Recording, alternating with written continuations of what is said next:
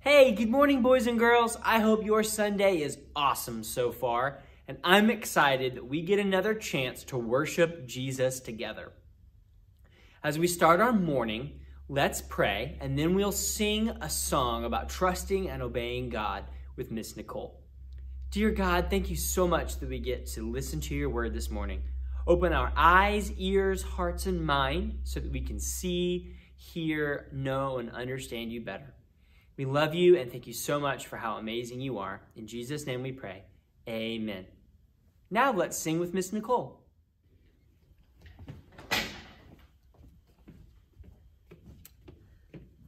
Good morning, boys and girls. Uh, we are going to sing Trust and Obey because Mr. Ethan's lesson is going to be talking about trusting Jesus. We're going to sing the first, second, and last verse of this hymn. There's a lot of verses to it, so I just picked a few for us to sing. Um, if you know it, sing along, and if you don't, just listen and maybe hum the melodies. I'm going to get begin with a little uh, intro.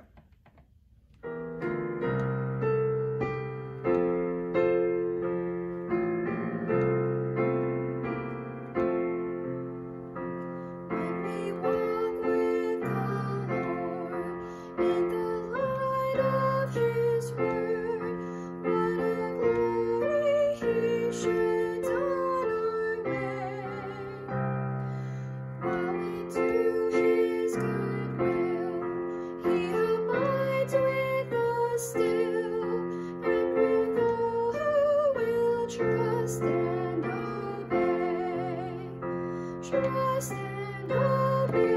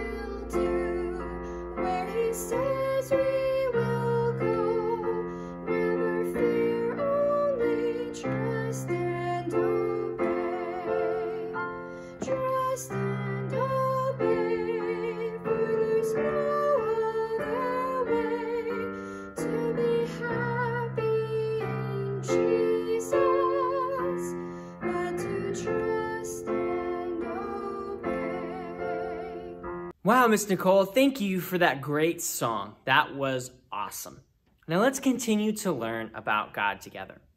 I have a ball here, and I bet you've been playing with a ball while you have been at home. And if your ball gets flat, you gotta put air back in it. Well, how do you do that? Let's look. I have an air pump here that I could use. I also have a drill bit. Which one should I use? Well, um, they're different sizes. I don't really know. Uh, look at this. This is the hole you put the air in, and look, there's a, a tip here and a tip here that are both pointy and small. I, I bet they could both fit in that hole. Which one should I use? Well, the purpose of a drill bit is to drill holes, and the purpose of an air pump, what's well, to pump air, isn't it? So which one do you think I should use to fill the ball with air? I should use the air pump, shouldn't I? That's its purpose. The purpose of the drill bit is to make holes, and if I put it in the ball, the ball would get a hole, and instead of having air, on the inside, it would have air on the outside, wouldn't it? And then I couldn't use it anymore. You know what this ball teaches us? It teaches us that everything has a purpose. The purpose of this air pump is to put air in the ball. And if I use it to put air in the ball, then good things happen.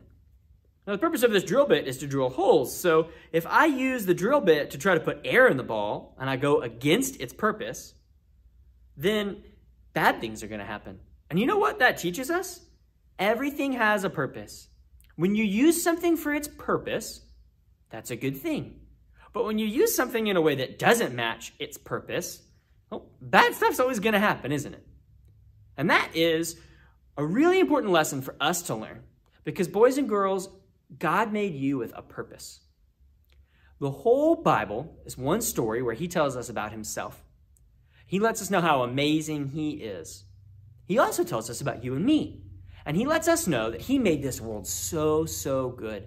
He made you and me to show the world that He's awesome, to help Him rule it by being princes and princesses who have gifts and talents, and who use those gifts and talents to show the world how great He is.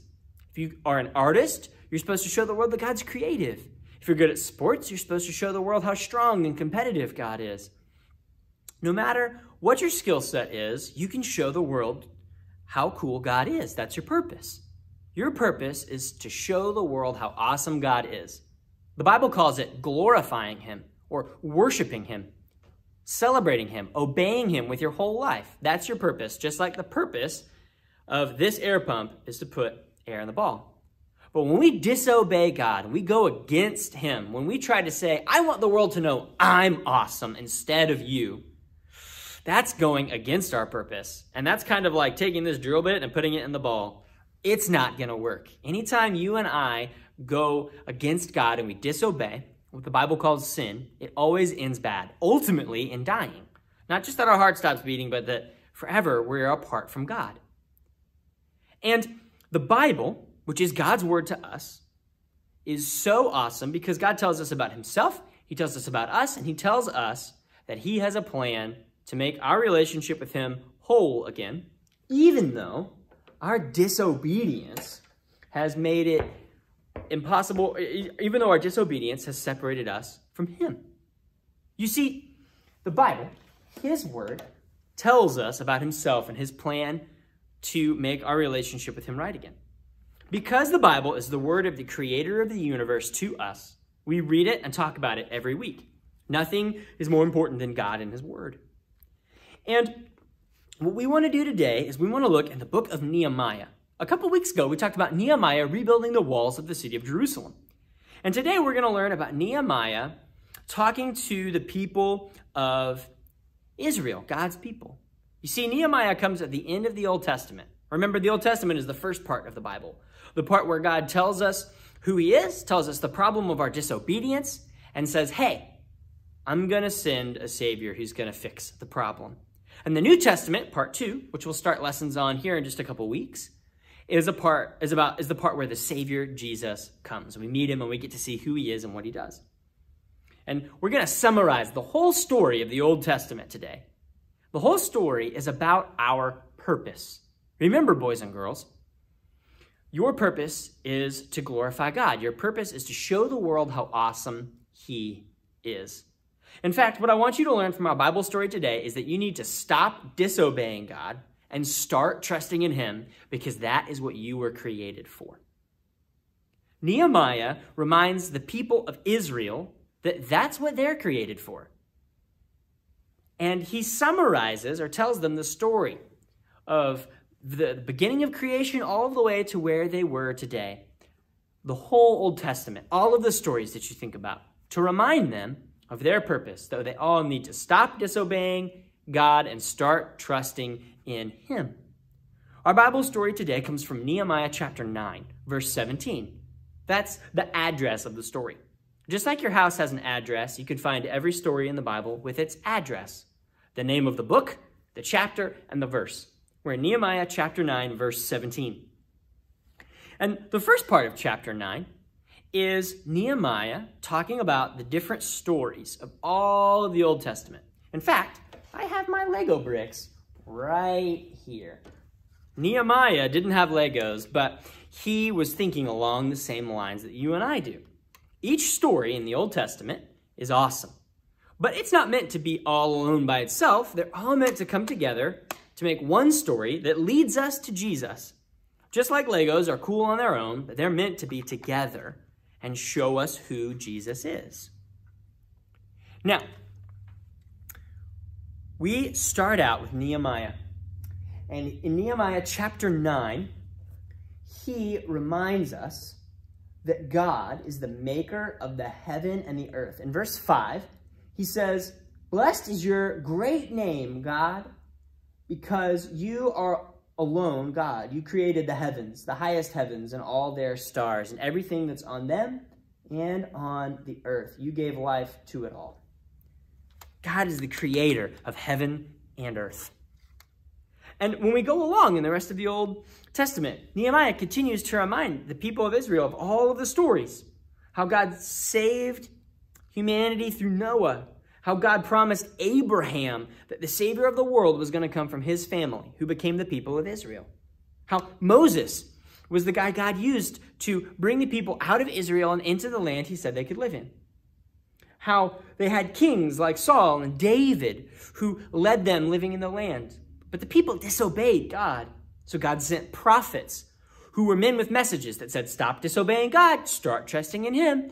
Your purpose is to show the world how awesome He is. It's not to say, I'm the boss. And they didn't listen. And the kings who were supposed to lead the people to obey God, man, they didn't. And they got kicked out of their land. And they came back to their land after 70 years. Nehemiah came back and he helped rebuild the walls of the city of Jerusalem that got broke down.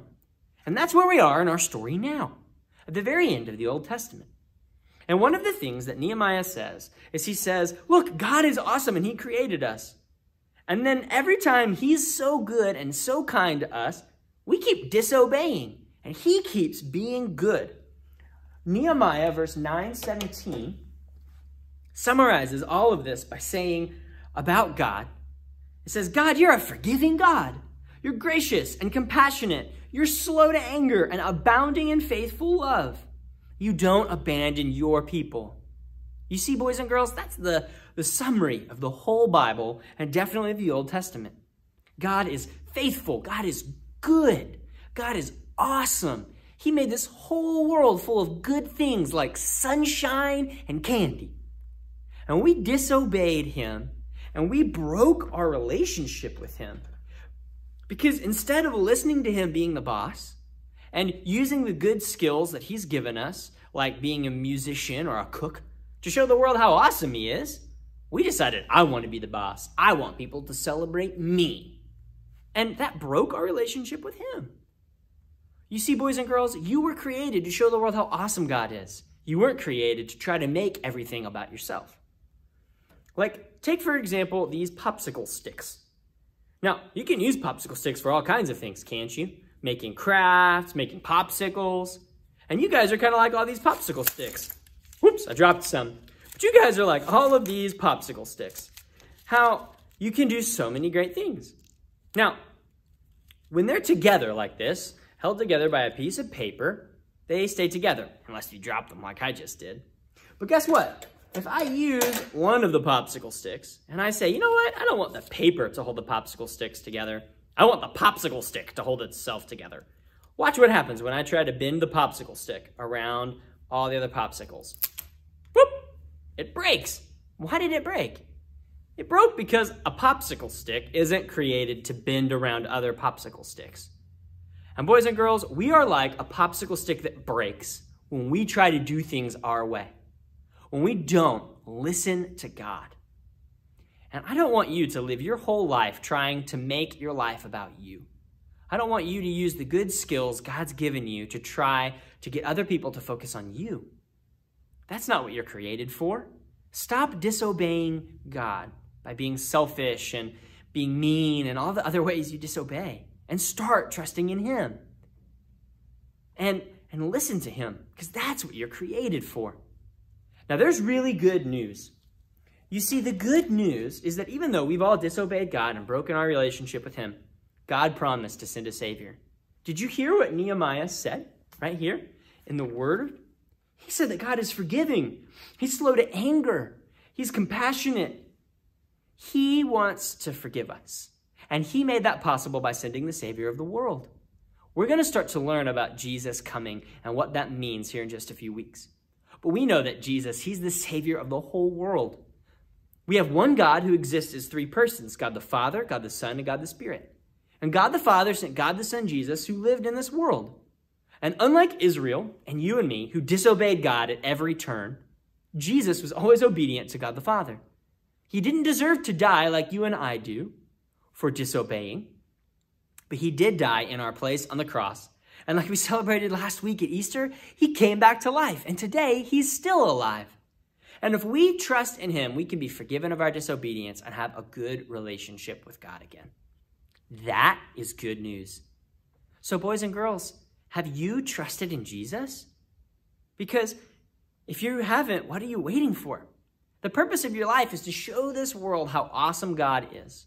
And the first step in showing the world how awesome God is, is to listen to Him. Stop disobeying and start trusting in Him by asking Jesus to forgive you for all of your disobedience. He will when you ask. That's what 1 John 1 9 says. Now, boys and girls, we also remember that trusting in Jesus isn't something you do just one time, it's something we do every single day. Because God has forgiven us, we can forgive other people and love them. So here's what I want you to remember stop disobeying God, start trusting in Him. Now, if you've never trusted in Jesus, I want you to know that the purpose of your life is to do that. So trust in Him today. If you have, scratch your head with me. I want you to ask yourself, hmm, what can I do to keep following him? Well, great question. Did you see here how in our Bible verse it says that God is a forgiving God? Well, did you know that we can follow God's example and we can be forgiving of other people? That's one way we can follow him every day. God is so good that he saves us through Jesus. He makes our relationship with him right again for free. And we stay in a good relationship with Him forever because of Jesus, if we trust in Him. So we don't have to earn God's love, or we don't have to earn staying in a good relationship with God. It's a good free gift from Him. But we do have the privilege of getting to follow God every day. And if you've already trusted in Jesus, the purpose of your life is to follow God every day. One way you can do that is to be forgiving the way that God has forgiven you. You've been at home a lot, haven't you? And I bet that by now you have probably had one of your siblings get on your nerves. Maybe they broke a Lego creation you were making or stole the last brownie that your mom made. And you have one or two options when someone does something wrong to you. You could be mean back to them, or you could act like God and say, hey, I'm not going to hold that over your head. I'm not going to be mean back. I'm here and I'm ready to make our relationship right again. Boys and girls, I want you to follow God's example and not be mean back to people when they're mean to you, not be mean to your siblings when they're mean to you, but be ready to make the relationship right again, following God's example. And that is one way that if you already trust in Jesus, you can follow him. And another way you can follow him is that you can know he gave you great gifts. Maybe you're a musician like Miss Nicole. Maybe you can cook. Maybe you can dance. Maybe you can play sports. Do those things not so that people will look at you and say, wow, you're great, but do them so that people will listen to your music and say, God is creative. Or eat your food and say, wow, God makes things taste real good. How awesome is his creation? Boys and girls, stop disobeying God. Start trusting in him. And remember that making him look awesome, that's what you were created for. And here's the thing God is so good that when you spend your life saying, Man, God, I want you to be awesome, that's a good life. But when you try to do things your own way, you snap in half like that popsicle stick. Life never goes well.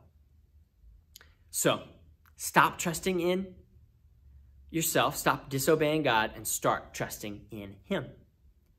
Nehemiah ends the whole Old Testament and reminds us that every story we've learned about so far, Noah and the ark, Moses, Joseph, David and Goliath, all of those stories, Daniel in the lion's den, They all teach us that God is perfect and good. We've disobeyed him, but he is sending a Savior named Jesus to die and come back to life so that we can be forgiven. Boys and girls, do you trust Jesus? I hope so. Let's trust in him and follow him together today. Bye.